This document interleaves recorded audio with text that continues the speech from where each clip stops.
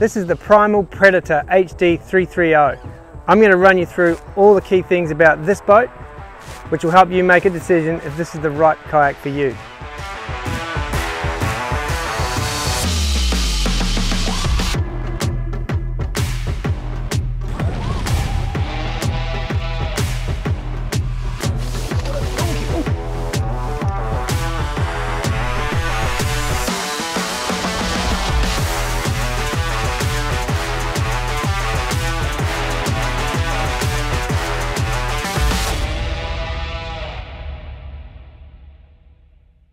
Hey, welcome along to my series of kayak reviews. My name's Jason, I've been in the kayak industry for the last 15 years and in this time working in the kayak industry I've had access to some amazing products. And the great thing about working in the industry I get to play with these products a lot so I've got some really good feedback. I spent a lot of time on the water with a lot of the products that I'm reviewing so I can give you some pretty honest feedback.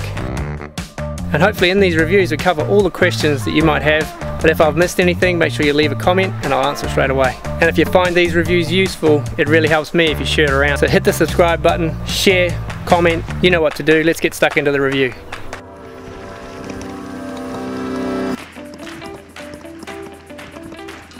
What I think Pryml and BCF have done here is they've found a really good compromise with a product that's fit for purpose and it's priced about right.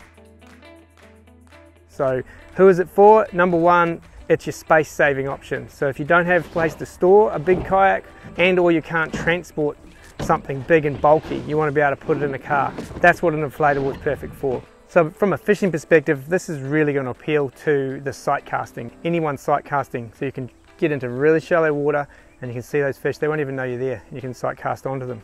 It's so quiet. I mean, plastic is quiet, but this is even quiet again. So if you're looking for stealth, this is a really good option. There's a huge amount of space in the cockpit, so if you're taking it out fishing, I just drop a gear crate in the back. I actually use the Hobie H crate, which is something I already had, but you can put any sort of milk crate or any tackle box set up in the back because there's so much room in the back there. The stability on this thing is ridiculous. I can literally walk 360 degrees in this area, take the seat out and I can walk bow to stern comfortably. I can walk to the front. Look how much stability we've got here, even at the front of the kayak. Turn around, even with a dog in the back. Look at her. Hey Bella.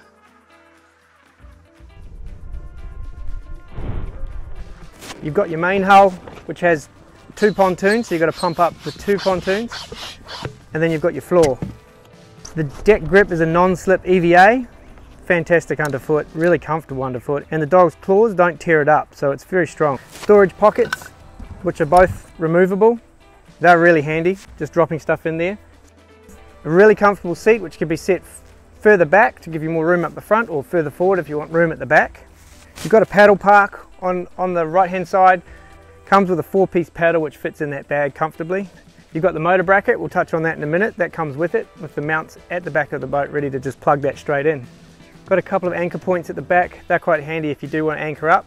Good storage underneath the front of the kayak. That's great if you want to just keep things dry and out of the sun. The bungee on the top is great for sliding things under. I'm using it just to slide my paddle underneath there. Now it comes with the Railblaza starports. It comes standard with two rib ports and one Railblaza rod holder R. That gives you one rod holder you can put at the back or at the front, you can move it around to suit. And once you have the Railblaza star ports, there's a huge range of accessories you can add from the Railblaza product catalogue. I've added two more rib ports, so I've got two at the back and two at the front, so I can run both rods at the back, or I can move another rod holder up the front for just putting a rod down when you want to reposition, or setting them both at the front so I control. I've also set it up for my camera, I've got cameras running so I can film all this action. Now the other thing I've added these starports to is to accommodate my fish finder. So I've got a quick port on the back for the transducer pole, and that's a Railblaza transducer arm XL that'll hold my transducer.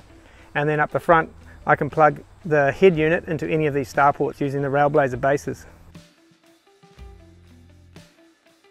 So let's talk about the motor. That motor bracket comes standard.